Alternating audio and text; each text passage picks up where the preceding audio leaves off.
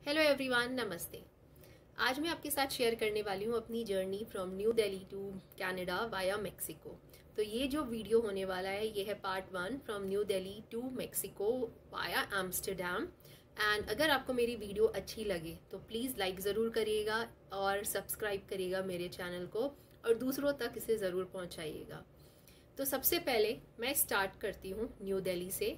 Then उसके बाद में एम्स्टरडेम एंड थर्ड जो मेरा पार्ट होगा इस ब्लॉग का इस वीडियो का वो होगा मेक्सिको सो so, सबसे पहले स्टार्ट होती है मेरी journey from new Delhi so new Delhi में मैंने आर टेस्ट करवाया था और uh, मुझे रिपोर्ट मेरे मेल में रिपोर्ट आ गई थी within six hours all वो ट्वेंटी फोर आवर्स का टाइम पीरियड बताते हैं. फिर मैंने प्रिंट आउट निकाला उसका और जिस दिन मेरी फ़्लाइट थी मेरी फ़्लाइट थी फोर्थ अगस्त के की थी and three thirty five A की थी। तो मैंने उसी दिन उसमें स्टैम्प भी लगवाया था। तो जब भी आप आर टी टेस्ट करवाओगे एयरपोर्ट से तो याद रखना, एक तो क्यू आर कोड होता है आपकी रिपोर्ट में एंड सेकेंड थिंग वो स्टैम्प लगा कर देते हैं। तो मेरी फ़्लाइट थी के। की के के कुछ गाइडलाइंस हैं, जो रूल्स हैं, वो ये है कि उन्होंने बैग का डायमेंशन दिया हुआ है। ऑल इसमें दो ट्वेंटी थ्री के के बैग अलाउ हैं प्लस ट्वेल्व के का एक केबिन बैग भी अलाउ है। अब वो ट्वेल्व के का जो केबिन बैग है, वो दो पार्ट में डिवाइड है, एक लैपटॉप बैग एंड दूसरा आपका छोटा सा सूटकेस। और इन्होंने अपने बैग के डायमेंशन को मेंशन किया हुआ है। जब भी आप टिकट बुक करोगे तो आपके मेल में वो भी आ जाएगा और आप कॉल करके भी उनसे पूछ सकते हो। तो कोशिश करना कि अपने बैग का डायमेंशन उनके अकॉर्डिंग ही हो और बैग का वेट ज़्यादा ना हो।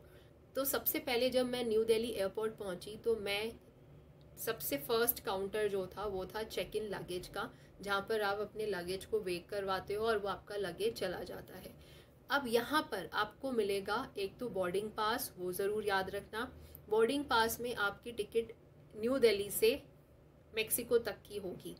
सेकेंड आपको मिलेगा एक क्वारंटीन डिक्लेरेशन फॉर्म उसमें आपको कुछ नहीं करना, बहुत सिंपल सा फॉर्म है, सिर्फ़ name date of birth and आपका सिग्नेचर एंड दैट्स इट इतने सी इन्फॉर्मेशन फिल करनी और कुछ नहीं करना जस्ट अ फॉर्मेलिटी कि आप एम्स्टरडेम में ले ओवर कर रहे हो, पर आप बाहर नहीं निकल रहे हो। नेक्स्ट जो काउंटर है नेक्स्ट स्टेप जो है इसमें, वो आता है इमिग्रेशन का। अब इमिग्रेशन का नाम सुनकर तो बहुत ज़्यादा डर लगता है, पर ऐसी कोई चीज़ नहीं है, क्योंकि आप लीगल एंटर कर रहे हो, आप लीगली किसी और कंट्री में जा रहे हो तो इसमें कोई घबराने की बात नहीं है। अब इमिग्रेशन की क्यू में जब मैं खड़ी थी तो मैंने ऑब्ज़र्व किया कि वो कुछ student PR holder work permit holder उनके साथ बहुत ज़्यादा टाइम स्पेंड कर रहे थे। लाइक उनसे ज़्यादा क्वेश्चनिंग हो रही थी फोर फाइव एट मिनट्स तक। पर कुछ हो, कुछ लोगों के साथ और कुछ बहुत ही जल्दी फ्री हो जा रहे थे लाइक वन और टू मिनट्स के अंदर। तो मेरे साथ भी ऐसा ही हुआ। मेरा जो, मैं जब काउंटर पे गई इमिग्रेशन पे, उन्होंने मुझसे पासपोर्ट मांगा। देन उन्होंने मुझसे पूछा कि आप कहाँ जा रहे हो? मैंने बता दिया मैं कनाडा जा रही हूँ वाया मेक्सिको उन्होंने मुझसे मेक्सिको की टिकट मांगी देन मतलब मेक्सिको से कनाडा की टिकट मांगी इंडिया से मेक्सिको की नहीं मांगी। उन्होंने मुझसे मेक्सिको का होटल रिजर्वेशन मांगा एंड uh, मेरे मास्क हटवाया मेरी फ़ोटो क्लिक हुई दैट्स इट तो मैं वन मिनट में फ्री हो गई। देन नेक्स्ट इमिग्रेशन के बाद आता है सिक्योरिटी चेक इन अब सिक्योरिटी चेक इन में इंडिया में हमें अपने जैकेट्स जैकेट्स के पॉकेट्स खाली पड़ने, करने पड़ते हैं और अगर आपने कोई हैवी शूज़ पहना हुआ है तो आपको वो भी खोलना पड़ता है ट्रे में रखना पड़ता है, आपके बैग में जो गैजेट्स हैं, उनको भी निकालना पड़ता है।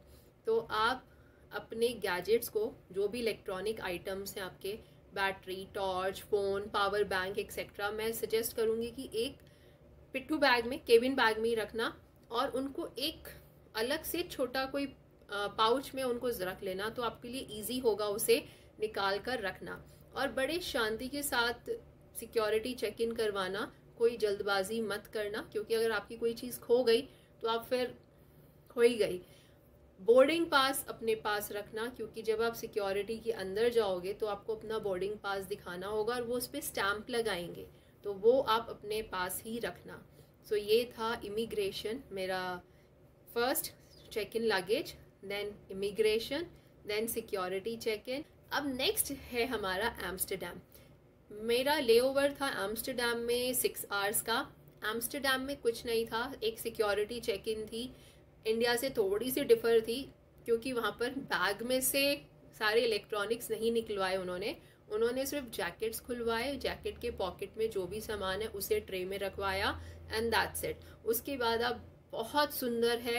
एम्स्टरडेम का एयरपोर्ट, उसे इंजॉय कर सकते हो। वहाँ मैकडी भी है, आप कॉफ़ी पी सकते हो। सो जस्ट आइदर रेस्ट और enjoy and explore the airport of Amsterdam then उसके बाद आता है मेक्सिको अब मेक्सिको में जब मेरे एक्चुअली जब मैंने फ़्लाइट बुक करी थी तो मेरे सबसे बड़ा डर था कि मेक्सिको में मैंने काफ़ी सारी इंसिडेंट्स पढ़ लिए थे कि वहाँ पर इंडियंस के साथ बहुत बुरा बर्ताव हो रहा है बहुत बुरी तरह से उनको ट्रीट किया जा रहा है पर मैंने जब वहाँ ऑब्ज़र्व किया ऐसा नहीं है। सो so, हुआ क्या? जब मैं मेक्सिको लैंड करी मेरी फ़्लाइट जब मेक्सिको में लैंड करी तो सबसे पहले हम इमिग्रेशन पे गए। इमिग्रेशन में आपको अपना पासपोर्ट दिखाना है देन आपको एक और चीज़, जब आप एम्स्टरडेम से मेक्सिको की फ़्लाइट में होगे, जो कि 11 घंटे की फ़्लाइट थी मेरी तो आपको दो फॉर्म्स मिलेंगे। वो दो फॉर्म्स में एक है एफएमएम और एक जनरल क्वेरीज हैं उस फॉर्म में, अपना नाम होटल वगैरह एक्सेट्रा लिखना है। तो जब आप इमिग्रेशन पे जाओगे तो सबसे पहले पासपोर्ट दोगे और वो दो फॉर्म दोगे। अब इन दो फॉर्म में से एक फॉर्म इमिग्रेशन वाले रख लेंगे और दूसरे फॉर्म में से जो कि एफएमएम फॉर्म है, उसमें से हाफ़ पार्ट आपको वो रिटर्न करेंगे। तो वो हाफ़ पार्ट को बड़े संभाल के अपने पास रखना। अगर वो खो गया तो आपके फोर्टी डॉलर्स अगेन आपको देने पड़ेंगे। फोर्टी यूएसडी सो अब इमिग्रेशन में मैंने पासपोर्ट दे दिया, वो दोनों फॉर्म्स दे दिए। उन्होंने मुझसे टिकट मांगी मेक्सिको से कनाडा की। देन उन्होंने मेरा होटल रिजर्वेशन देखा। एंड दैट्स इट कोई क्वेश्चन नहीं किया मुझसे। एंड uh, उसके बाद आया लगेज। तो जो एयरपोर्ट के बाहर जब आप निकलते हो तो एयरपोर्ट के बाहर आप ट्रॉली नहीं ले जा सकते। uh, जब आप एयरपोर्ट के बाहर निकलोगे तो आपको एक क्लोज्ड कॉरिडोर दिखेगा जो कि बहुत बड़ा है। उसमें international arrival international departure domestic arrival domestic departure और कई सारे गेट हैं। Gate number one two ten gate number ten पे आपको टैक्सीज मिलेंगी और वैसे तो कोई भी गेट में आप बाहर चल जाओगे आपको टैक्सी मिल ही जाएगी। और अब आ जाते हैं पहले वापस से अंदर एक बार कि सबसे पहले हो गया इमिग्रेशन लगेज हमने पिक कर लिया, ले लिया बेल्ट से एंड देन उसके बाद आपका आता है कस्टम अब कस्टम में क्या था? जो मैंने उस ऑब्ज़र्व किया जिस दिन मैं मेक्सिको लैंड करी थी, वहाँ पर कस्टम चेकिंग के दो काउंटर्स बने हुए थे। एक मशीन के through normal second physical custom checking हो रही थी, जिसमें इंडियंस मैं ये तो नहीं कहूँगी कि सारे इंडियंस को कहा गया कि आप उस लाइन में जाके खड़े हो जाओ, पर वो रैंडमली किसी भी इंडियन को बोल रहे थे कि बिकॉज़ जनरली इंडियंस ही ज़्यादा थे पॉपुलेशन में तो उनको बोला जा रहा था कि आप लाइन पे खड़े हो जाइए। और वहाँ फ़िज़िकल चेकिंग हो रही थी बैग खोल कर देखा जा रहा था। तो यहाँ मैं सजेस्ट करूँगी कि आप कोई भी ऐसी चीज़ ना लाएँ जो बहुत एक्सपेंसिव है और आपको उसके लिए पैसे पे करने पड़ जाएँ। जैसे ज्वेलरी हो गया, मसाले हो गए, नमक वगैरह। अवॉइड कर सकते हैं हम इन्हें। सो so, मैं जब लाइन में जाकर खड़ी हो रही थी तो कस्टम ऑफिसर ने मुझे पहले ही देख लिया था और उन्होंने मुझे कहा कि आप जा सकते हो। पता नहीं क्यों मुझे कहा पर मेरे आगे और जो मेरे साथ और आसपास जो इंडियंस आ रहे थे उनको उस लाइन में खड़ा कर दिया गया था। पर मुझे उन्होंने कहा आप चले जाओ मैं चली गई। तो जब बाहर आते हैं ट्रॉली आप बाहर नहीं ले जा सकते हो। आपको बाहर पॉटर्स की सर्विस मिलेगी। पॉटर्स हैं जो यूनिफॉर्म में होते हैं प्रॉपर और वो आपका लगेज कैरी कर सकते हैं। अगर आप खुद नहीं करना चाहते, आपको उन्हें टिप पे करना पड़ेगा अकॉर्डिंग टू द जितना लगेज है आपके पास और कितनी दूर आप जा रहे हो। तो मैं ने पॉटर किया था क्योंकि मेरा जो होटल था, वो एयरपोर्ट के ऑपोजिट साइड था और वो एरो ब्रिज से कनेक्ट था। तो और मेरे पास जो बैग था, मैं उसे कैरी नहीं कर सकती थी। वो ट्रॉली बैग नहीं था, कपड़े का बैग था। तो मैंने पॉटर हायर किया, मैंने उनको टिप दिया था फाइव यूएसडी जो कि मुझे बहुत ज़्यादा लग रहा है। मे बी थ्री और फोर यूएसडी में काम चल जाता। तो ये आप याद रखिएगा कि आपको यूएसडी में उनको या मैक्सिकन पेसोज में आप पे कर सकते हो।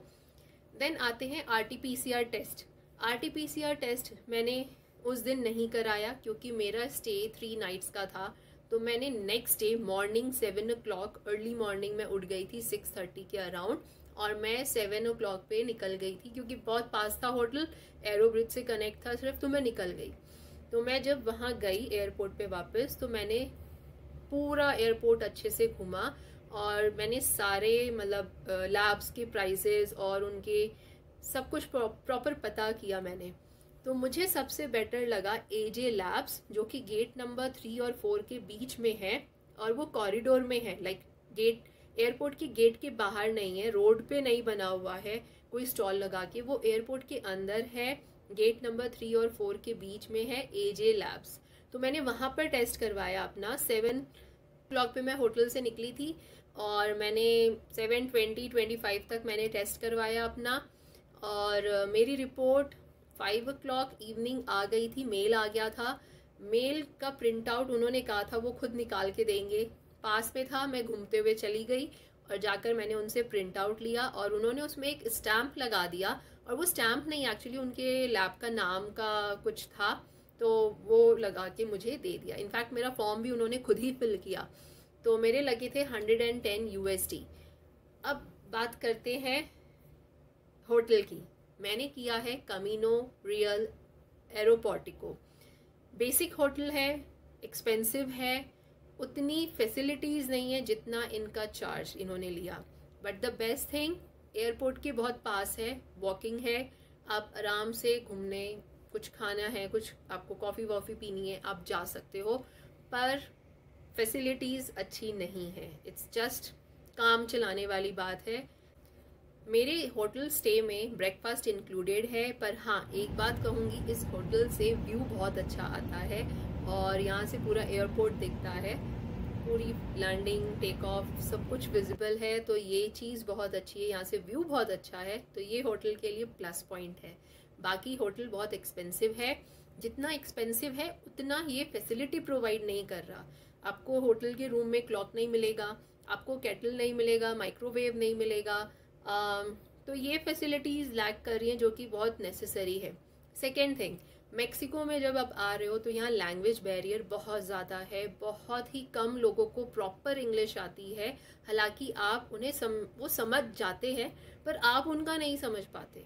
तो सबसे बेस्ट है ऑफलाइन लैंग्वेज ट्रांसलेटर अपने फ़ोन में डाउनलोड कर लेना, बहुत हेल्प करेगा। मेरे को बहुत हेल्प किया है। मैंने उस ट्रांसलेटर के थ्रू अपनी सारी क्वेश्चंस क्वेरीज पूरी प्रॉपर पूछी है लोगों से। हाँ मेक्सिकन्स आर वेरी हेल्पफुल वो आपकी लैंग्वेज को नहीं समझते, पर वो आपकी हेल्प करना चाहते हैं। तो मैं ये तो नहीं कह सकती कि प्रॉपर सेफ़ है या नहीं, क्योंकि मैंने तो सिर्फ़ एयरपोर्ट के आसपास का एरिया ही घूमा है और देखा है।